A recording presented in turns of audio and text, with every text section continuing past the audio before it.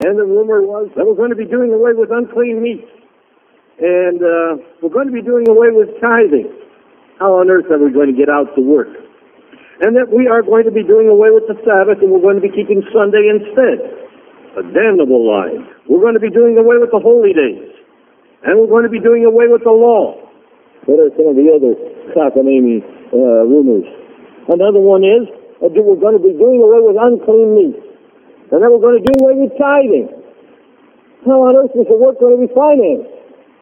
We're not doing away with the Sabbath, the holy days, doing away with the law,